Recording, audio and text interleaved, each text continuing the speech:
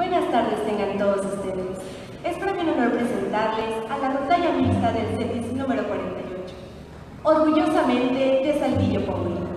Compuesta en 1950 por Chabuca Agranda, para ustedes, la flor de la canela.